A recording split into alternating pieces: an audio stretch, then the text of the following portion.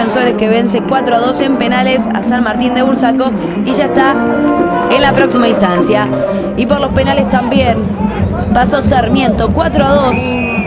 Fue en los penales, 1 a 1 en el resultado final. 16 minutos iban de la primera etapa cuando había expulsión, exacto, a Julio Ledesma por el codazo sobre Camargo. El árbitro Velarde le muestra la roja directa. Uno menos había en el partido y a los 39 se abre el marcador. Daniel González define después de una muy buena jugada de Marcos Riquelme, poniendo así el 1 a 0 para Fénix.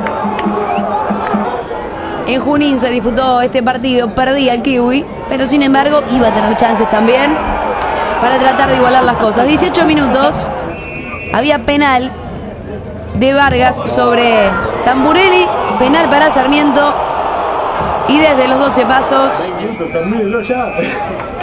se iba a convertir el gol de la igualdad tras el rebote, por supuesto, porque el arquero de Fénix, Santillán, le había atajado a Tamburelli ese gol, iban a la definición de penales. Carlos Aguilar es el que convierte para Sarmiento. Daniel González es el que la quiere picar. Termina errando Fénix y de esta manera entonces Sarmiento termina pasando por 4 a 2 y está en la siguiente instancia de esta Copa Argentina. Y otro equipo que también está en la próxima instancia de este torneo, el más federal de la República.